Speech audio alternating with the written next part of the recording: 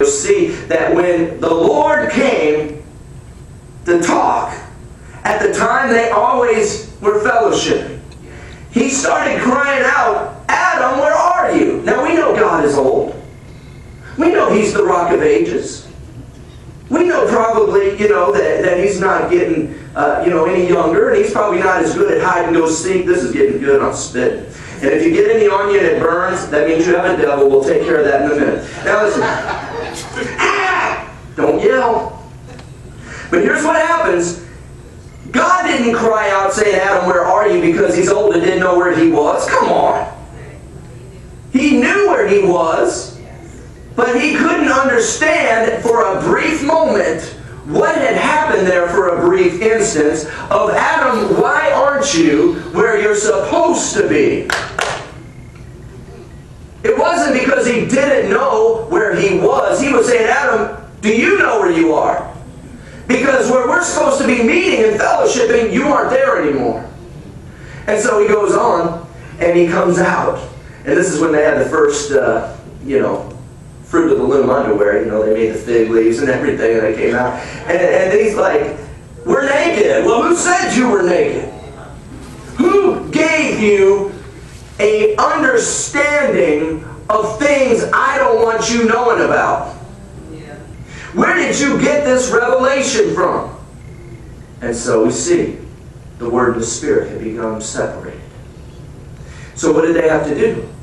Well, because they became separated, God in His infinite wisdom created a plan in which He would send His only begotten Son, who is the Word, to come back and hook up with the Spirit together and bring them together for a moment in time back to the Father to create the Trinity, as it says in 1 John, that they bore record one of another. And then pour out in unity again. Thank God for Jesus. But here we are. We caught you up to that in John chapter 1. Here's where uh, Jesus comes on the scene. In the beginning was the Word, capital W. Jesus is referred to as the Word. And the Word was with God, and the Word was God. The same was in the beginning with God. All things were made by Him, and without Him was not anything made that was made. In Him was life, and the life was the light of men. And the light shone in darkness, and the darkness comprehended it not. There was a man sent from God whose name was John.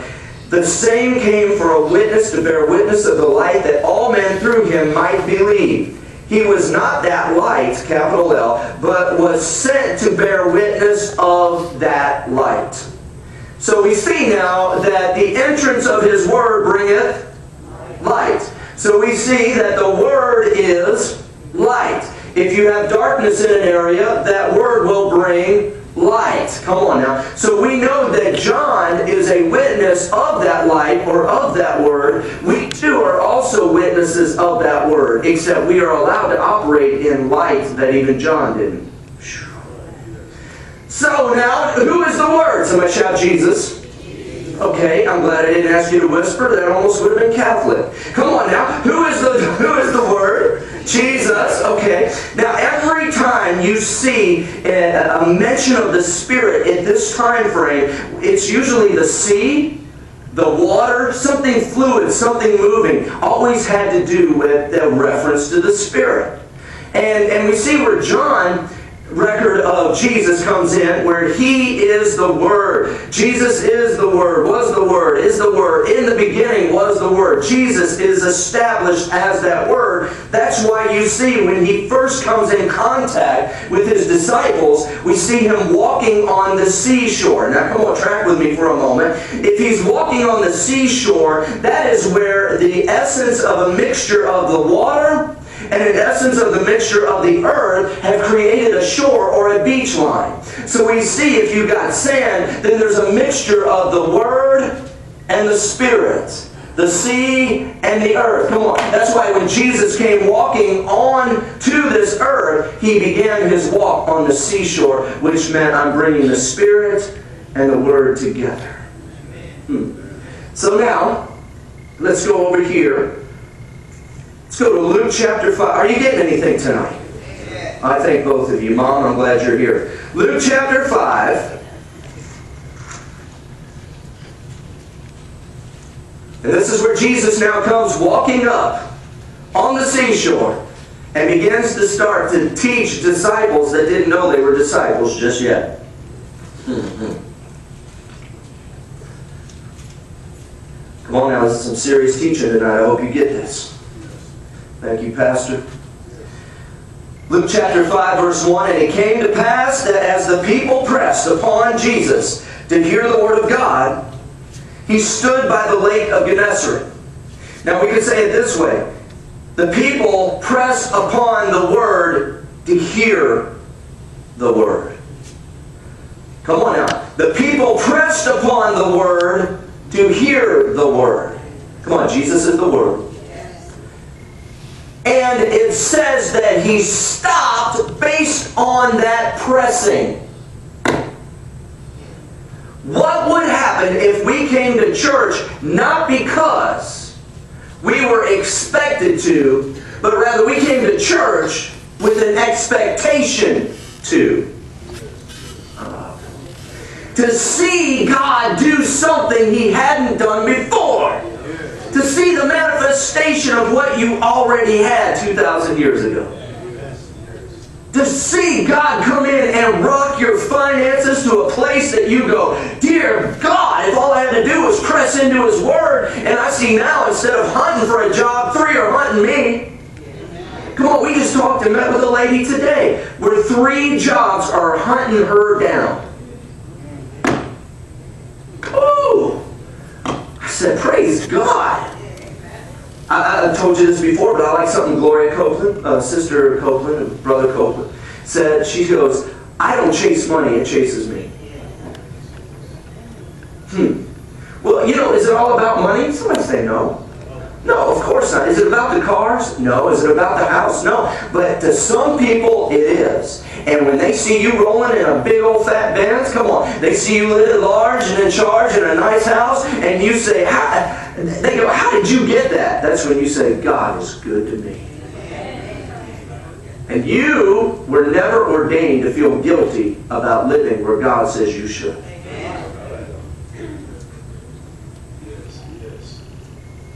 Getting crazy eyes. Come on now.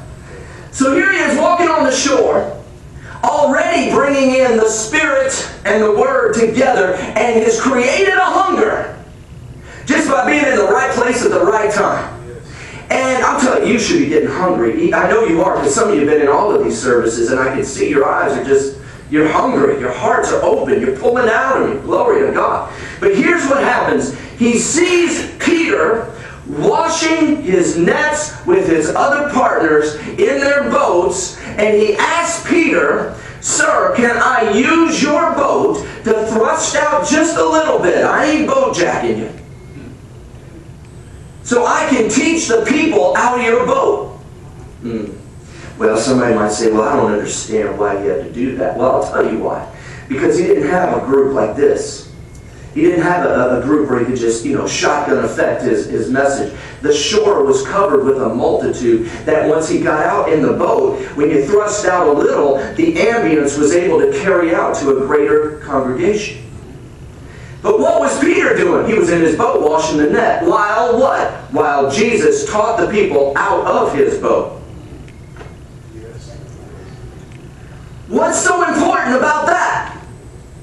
Because Whenever Jesus asks to use something of yours, he never will take it for granted without super abundantly blessing you to overflowing for allowing him to use something you didn't think he could do anything with.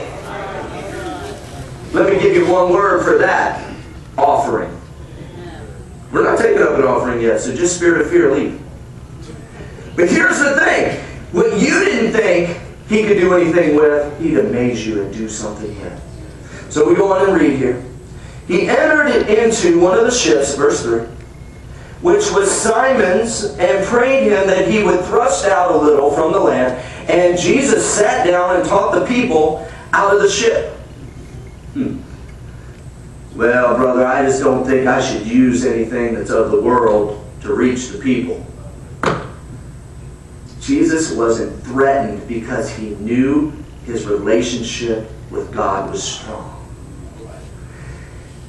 I can go into any bar, and I used to drink. Come on, I was considered a good one. I was considered a good drinker. Alcohol liked me, and at that time, I was fond of it. And I became an alcoholic before I was 18. I thought, you know what? How much longer could I be a partier if I'd start early? Come on now. After I got delivered, which I did, praise God. I know some of y'all were wondering. I did get delivered, all right? I might have a little NyQuil every now and then, but that ain't it. But listen, I got set free by God Almighty from all drugs and alcohol. Didn't have to go through any programs, no 10 step this, and I'm all about that. That's fine. But I didn't have time for all the 12, 10, whatever steps. I just got it done. Took care of it. God bless me. I got delivered. Amen. And so after I got delivered, everybody and their mother wanted to buy me a drink. I'm like, where were you fools when I was an alcoholic? I really could have used somebody up in here at that time. I could have saved a lot of money. Now you want to come and get, or I know how the devil works now, but at the time, I'm like, you want to buy me a drink now? Sucker, I was, I'm delivered now. I should have got something back then. But anyway, I can go into any bar right now and not be tempted at all. And lead anybody to the Lord right now with no temptation at all. How can you? Because I know who I am in Christ. There ain't no high like the Most High. I've been trying to tell Brother Keith that, but you'll, you'll get it. All right, now. you need to get off the nose spray, sir. Now, anyway. You're laughing because you got a problem too, sister. All right, no, I'm.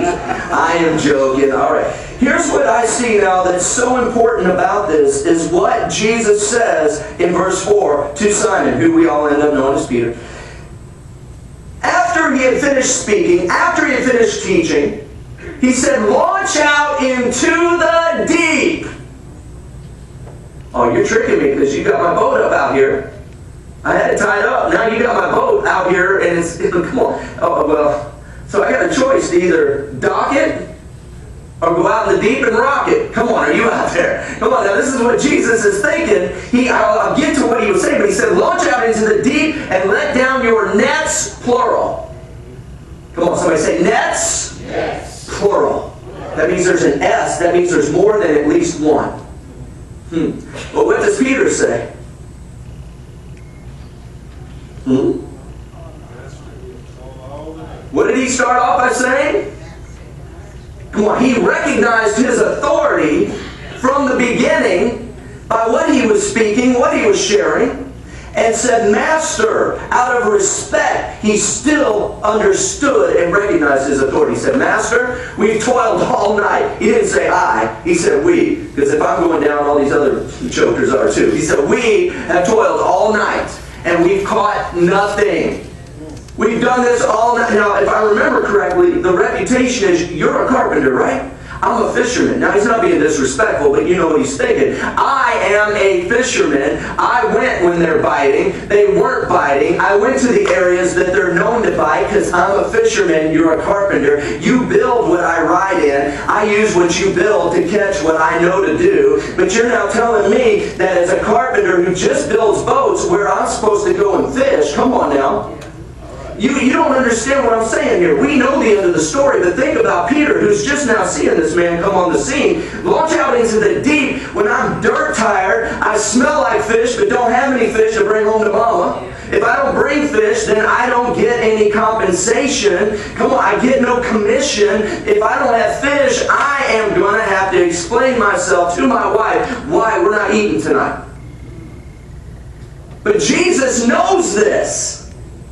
But Peter can't see past himself to see what Jesus sees. Come on. We got to stop seeing what we just see and start seeing what he sees. We got to stop just looking at what's around us and start seeing what's out there. Come on now. He said, Launch out into the deep and let down your nets, plural, for a harvest of fish. Some of us in here can attest and be honest tonight. You've had God lead you and tell you to launch out, but He didn't tell you why. Come on, am I the only one out there? He told you to go somewhere, but you didn't know why. Come on. He told you to launch out into the deep, and you're like, but I don't know how to swim. But He said, go out anyway. And didn't give you a promise for why He told you to do that. He just said to do it. But here He is telling Peter, launch out into the deep and get you a harvest of fish.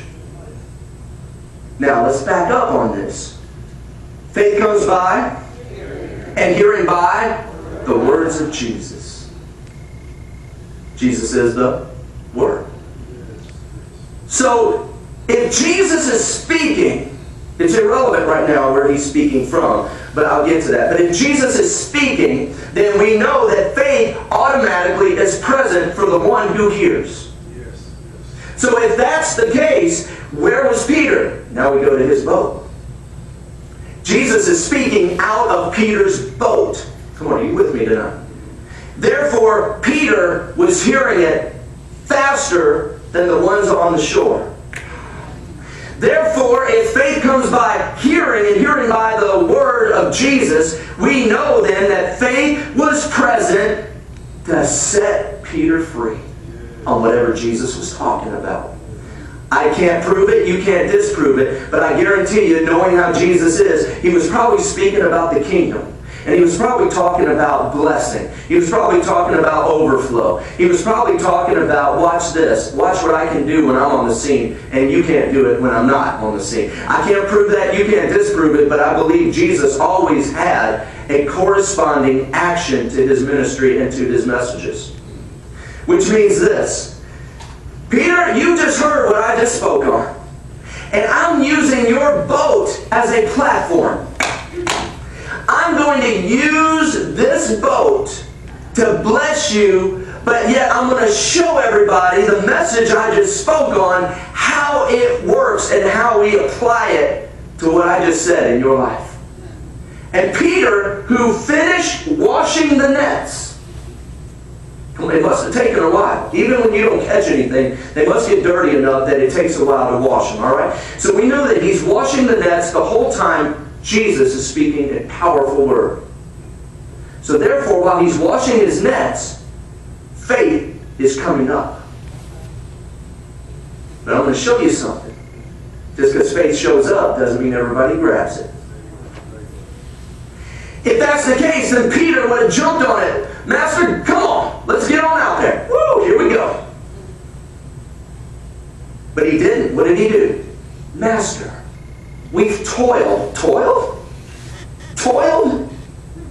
You know what that means? That is a strong word that says, I'm beat tired. I just cleaned up my nets, which we'll get to in a minute. And you're wanting me to go back out and do what I just did all night. He's not hearing there's a fish harvest out there. He's hearing this is putting me out. It's a sacrifice. I've toiled all night. Now, I know a lot of you are like, but brother, he obeyed. Hold on. Come on, you know why we haven't been seeing the results we need to see? Again, because of erroneous teaching. But I'm going to show you this. And I don't want Brother Heath to be upset about that putting you on blast about your nose spray. You'll be all right. You get it, put you on blast. A lot of people don't know he was in the Nasal Academy for three years. Come on, Derek, I need you to laugh. Come on. I know it wasn't funny, but come on, charity laughs. They're good, like a medicine for me. All right, fist pump. All right. But here's what happens now. Peter says, I've toiled, Master. I have suffered all night and now cleaning up nets. I only like to clean nets if I can clean fish, and there ain't no fish. But what does he say? Nevertheless. oh. You know what we teach? We teach nevertheless. Uh, nevertheless, obey his word. Uh, nevertheless, I'll obey. Uh, come on, you know, we preach like that. And get ready, get ready, and all this other stuff. But the point is, nevertheless, let's go back to what Peter just said. I've toiled all night. It's going to be a sacrifice for me. I really don't want to do it, but obedience is better than. But he's saying sacrifice, forget obedience. But brother, he did. He obeyed. Remember, he said, Nevertheless, at thy word, I will let down the singular. Come on now, the Greek even makes a difference between plural and singular in this passage. Why let down all your nets if you're only trying to appease the entire crowd that's watching you and what you're doing with the master's commandment. They're all on the shore with no boat going, we want to see this kingdom in operation. And he's telling you, launch out into the deep and let down your nets, plural, and we want to see what this word can do. But Peter is like, this is my boat. I'm tired. I got to come back out here again later. I just finished washing my nets, all of them. It says nets. Come on. But he said, Nevertheless, at thy word, I'll let down my. Just because he said, Nevertheless, at thy word, doesn't mean it was at his word. Come on, Jesus is the Word. What was the Word that came forth? Launch out into the deep and let down your plural nets. Come on, anybody in here wants a net profit, right? Derek, I need you to laugh. All right, now. Here's what happens. When you say nevertheless at thy word, then you need to drop all the nets because that was his word. Because Jesus didn't say anything doesn't mean that he was in agreement with Peter. Oh, come on, are you tracking me? It, you don't see him talking to Peter except a little bit later, and we'll get to that. He said, launch out into the deep and let down your plural, your nets. I know some translations, like the NIV, they, they've got it both as plural and whatnot. I'm just telling you, I've studied the Greek on this. I've talked to scholars about this. There's a difference between net singular and nets plural. And so he says, I'll let down the net and I'll prove to you that it also was his heart where he only let down the net because as soon as he did, what happened? The fish only knew to obey the word of the Lord. The fish jumped into the first container or net, knowing that that was their assignment. Your harvest has an assignment.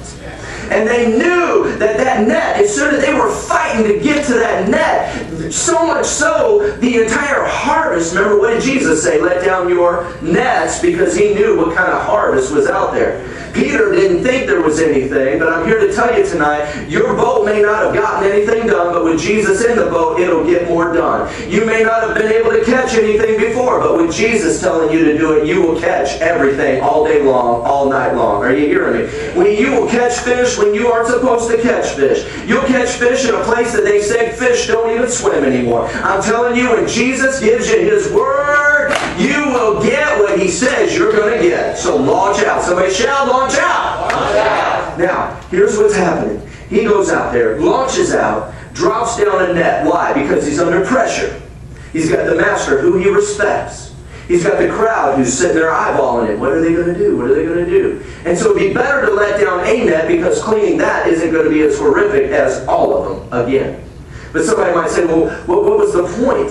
He already had his nets out. Why didn't Jesus just say launch out? Because I believe Jesus wanted that net cleansed from everything that they attempted before. I believe then Jesus with that word because there's a washing of the water of the word. Jesus is the word and he's on the shore, except now he steps out into the water. Now we see the word also launching out into the deep of the Spirit. Come on. Now, Peter lets down the net. What happens? It broke. It, uh, the person that gets healed is always the smartest person. It broke. we see that they had a net breaking experience. Now, Pastor, I know you're the, probably, as you told me, the smartest person in the room. Um, I know his wife didn't think so, but that's all right. The, the, the truth is, when the fish break from the net, where do they go? Back in the water. Which, anybody in here has ever fished before, and I know some of y'all have. I'm not dogging your cologne, I'm just saying, I know some of you have. Now, come on, is anybody out there tonight? What is wrong with that guy? Well, he gave you a hit of nose spray earlier. Thanks. anyway, the point is, when you caught a fish, very rarely when they get off the line do they want to hang by the boat to get caught again. So when you catch a bunch in a net and they're all doing this, you know, oh my God, you know, and they're freaking out, and the net breaks, they're gone. They just know don't go there unless they have an assignment.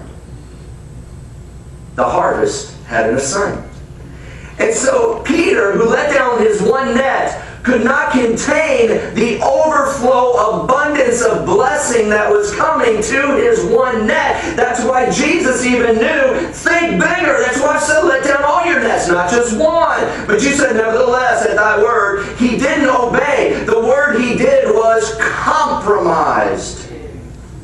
And too many of us are compromising and calling that obedience. That is not obedience. That's why we're getting compromised blessings. And the first person we blame is God, then the pastor, then the church, and then this stuff don't work. The truth is, yes, it does work, but we've got to work it.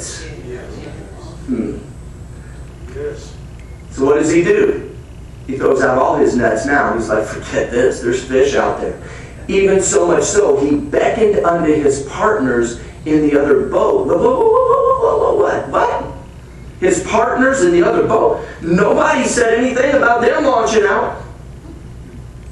Oh, come on, are you following me? But they heard the same word that Peter heard, and they were thinking, hey, we ain't sure what saved is yet. We're learning all of this, but uh, we're businessmen. And if we're going to see him launch out and catch some fish, well, we're going to throw our nets down there too. We're going to catch some fish. And so he beckoned unto the other partners after he dropped all of his nets. That means he was pulling in boatloads of fish.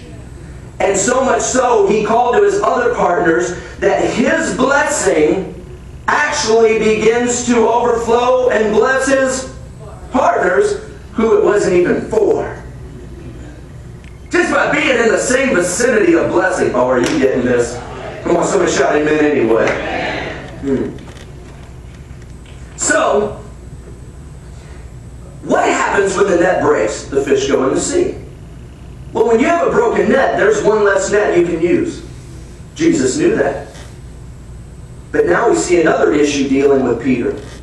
Not scarcity, not a fear or a, a, a, sacrificial mentality. Now we see a jump immediately from I can't get anything to I can't get enough.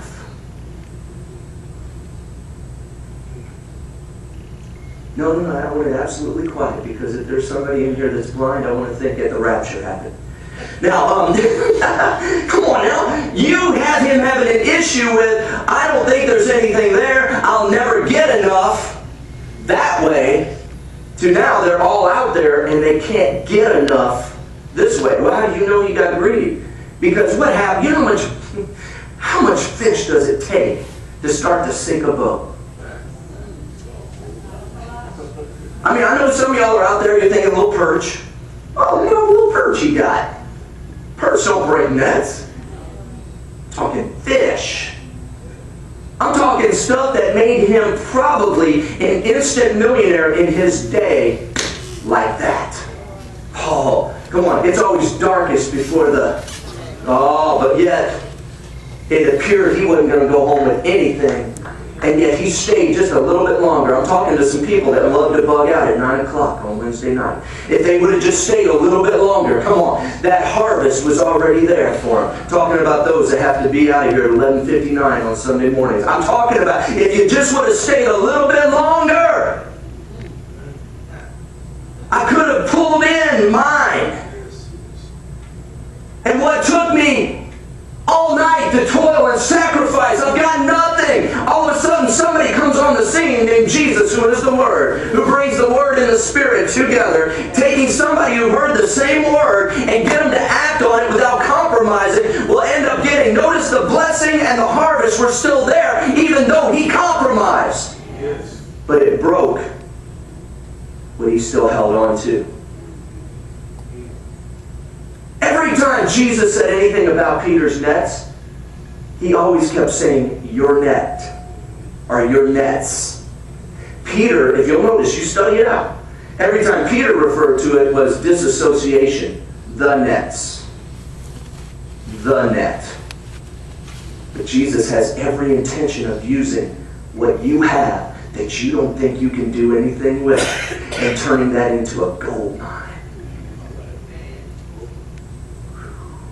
Come on, slap your neighbor right in the face as hard as you can and then make them forgive you. Tell them it's biblical. I need to hear some pops in here. I see some of these women are looking at some of these big men and going, I dare you. You did that one time. And then, you no, I'm saying, you did that once, it ain't happening again. No, anyway. So here's what's going on now. I want you to see this. Their net breaks. Now they're filling up both the ships and they're beginning to sink. When Simon Peter saw it, now somebody might say, no, brother, it's nevertheless. I've always heard it, nevertheless, at his at your will and at your word, I, I will do it. You know, he, don't do that. Don't mess with me. Don't shake up my theology. I mean, this is one of the greatest scriptures of obedience because look, here's the, here's the result. He's getting all of it. Well, Jesus can give you stuff without breaking your stuff.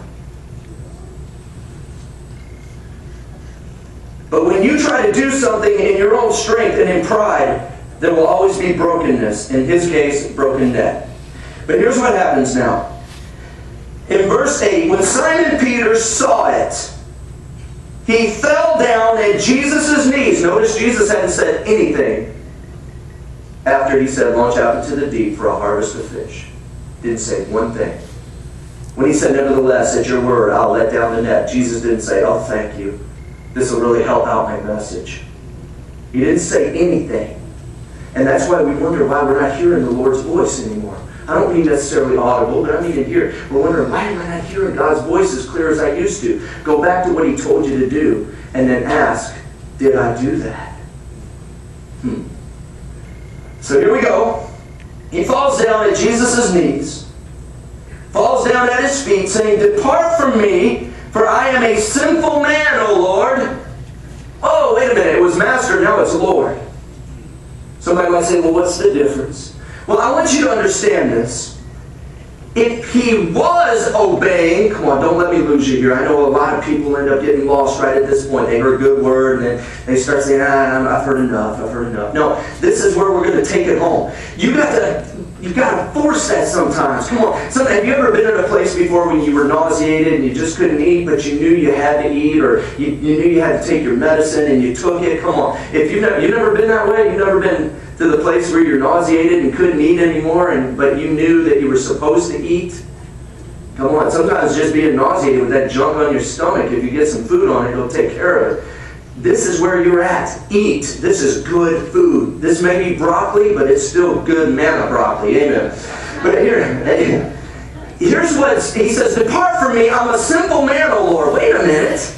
Wasn't he a simple man before he launched out? Come on now. Wasn't he already man? Well, what made him realize it? Well, it was the presence of Jesus. No, that's not the case either, because he would have realized he was a sinful man in the middle of his message. What made him realize he was a sinful man? Because he compromised through disobedience. Partial obedience is still disobedience. But he realized that if he had just obeyed the Lord, they wouldn't be having a problem with the harvest coming and breaking their stuff and them not having as much as they want.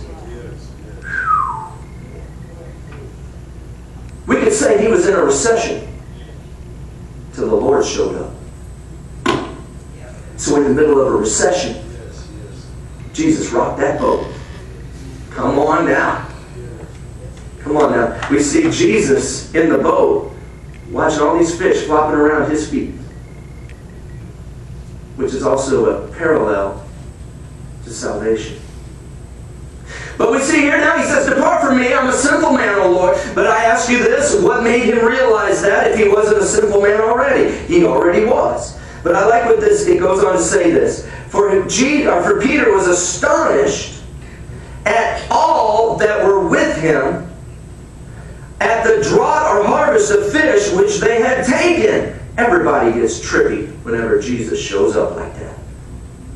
And so also James, John, the sons of Zebedee, which were partners with Simon, and Jesus said unto Simon, Fear not, from henceforth thou shalt catch men. I'm just seeing something now fresh for the first time. As many times as I've read this, as many times as I've taught this, as many times as I've preached this, I'm seeing something fresh here.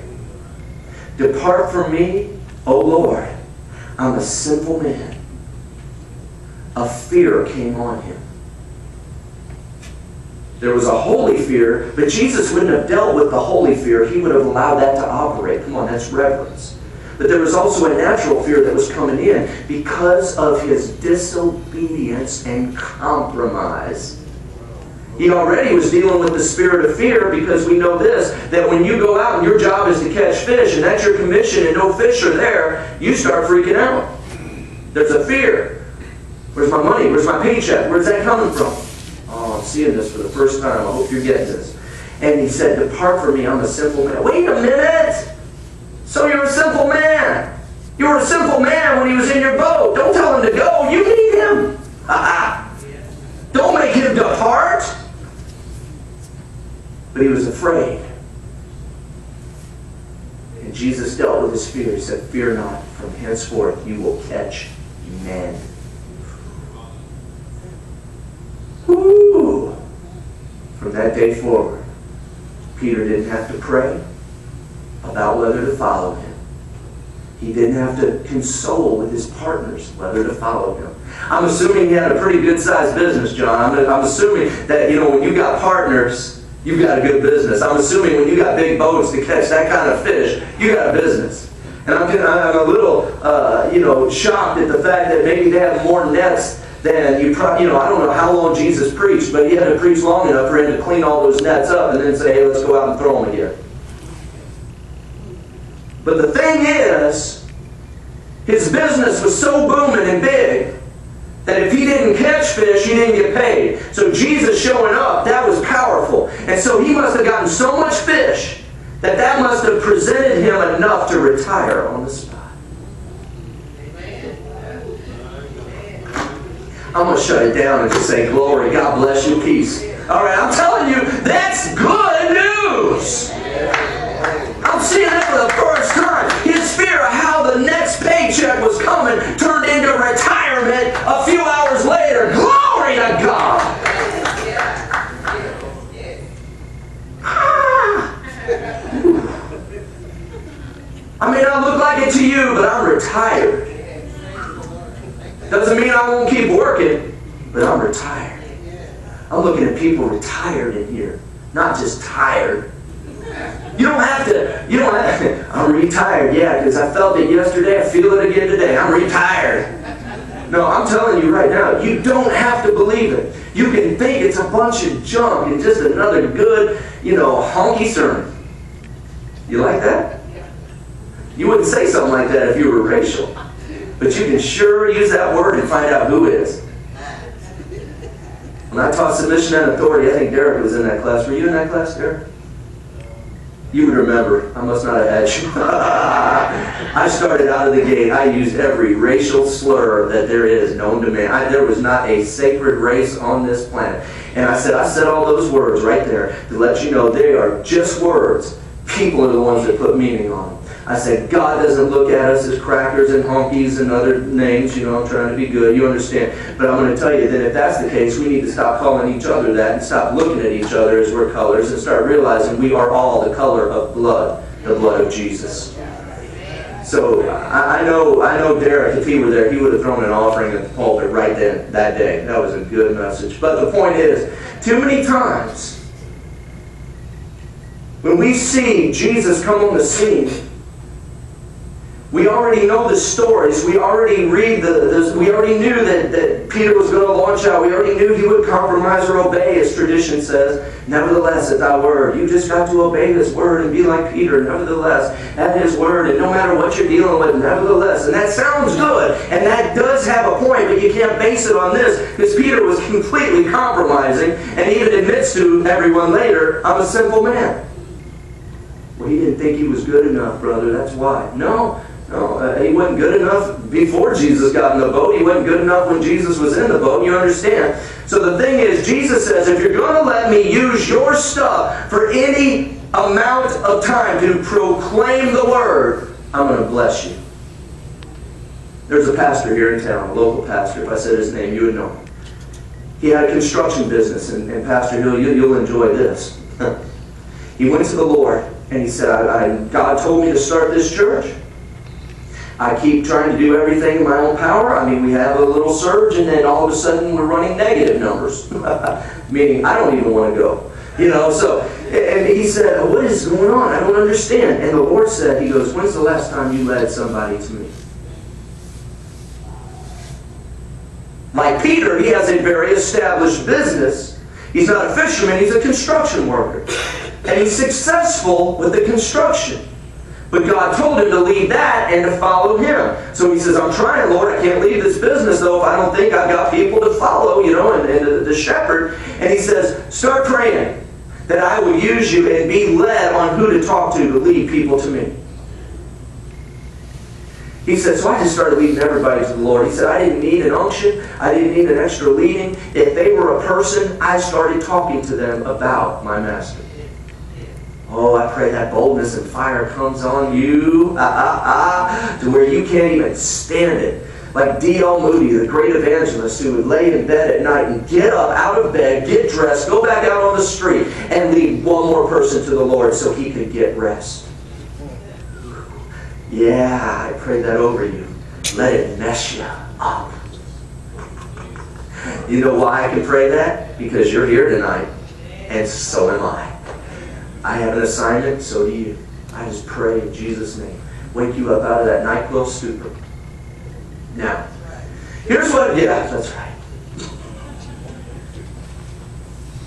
He started praying, he started speaking, he started sharing, and he said, I noticed that I started leading people to the Lord and he goes, I started staying in contact with them. He goes, I didn't try. It just seemed like that would just happen. I started leading people to the Lord. He said, I was leading sometimes 20, 30 people uh, at, at, a time in a week to the Lord. He said, I go to the, the restaurant. I lead them to the Lord. Now, you don't want to be obnoxious. You understand what I'm saying. But you want to be so soaked in the presence of God that when you do speak something, they want to hear it. It's what I call when they're knocking on your door.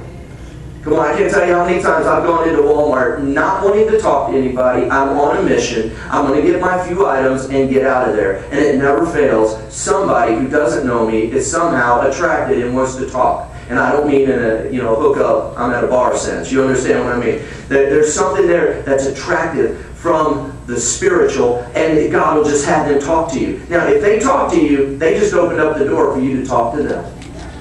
It's different than if I go and knock on Sister Marilyn's door, 8 o'clock on Saturday morning, the only day she gets to sleep in, and I start knocking on the door. Hi, Jesus loves you. Boom. Yes, and he loves you too. Come on now. You know I'm right about it. Maybe you're more saved than me, and I'm glad about it. But I'm going to tell you, somebody comes knocking at your door when you're supposed to be resting in the Lord at 8 o'clock. You know, they're just, you know, that's fine. I'm not saying I'm against witnessing like that, but live a lifestyle of witnessing. I promise you, when I taught personal evangelism at Rhema, I could not tell you how many people would testify over and oh, Derek was in that class. I said at the beginning, how many's got a testimony? Nobody did. I said by the end of this uh, this quarter, this term, there will be too many people giving testimonies about how God is using them to lead people to the Lord that you will not be able to take all the testimonies. I will literally have to shut you down. And, oh, yeah, right. And it happened every term. It's like a Benny Hinn crusade. What's happening over here, today? You know, come on. So anyway, here's what happens now. He starts leading people to the Lord. He started noticing finances started coming in out of nowhere. He said, I get a check here. Or I get somebody come up and give me money here. Or somebody just said, I felt led to, do, to give you this. I mean, come on. We have that happen to us all the time. You know why? Because we expect it. I'm not trying to rip any old lady off. I'm not trying to take some widow's last Social Security check. Come on, dear Lord. I got more than that to offer than just to take. I've got something to give. I can get you away from that Social Security mentality, which we're not even sure is going to be around much longer. Oh, don't speak that. Is Jesus your source? When he's not your source, he'll become your source. Mm. Now here's what happens. We needed a car payment years ago, not too long ago, but years ago. And we had to have it paid that next day. I could take it right to our bank, a local bank, and give it to them, but it was due that day. And when I mean due, I mean it was due, or they're coming to get it due. So it was past the, uh, when you don't get the courtesy phone call due date. It was past the, you get a nice friendly card in the mail due date. It was the due date of when they send out those repo people, you know, the re-police. And see the repo boats. anyway, so here's what happens now. We're, we're not tripping, but we're kind of a little concerned about what's going on. And we didn't have that extra cash. And, you know, we were being good stewards with what was coming in. But about 10 o'clock at night, we have a knock on our door. Well, I knew it wasn't somebody that was witnessing, because it's late at night.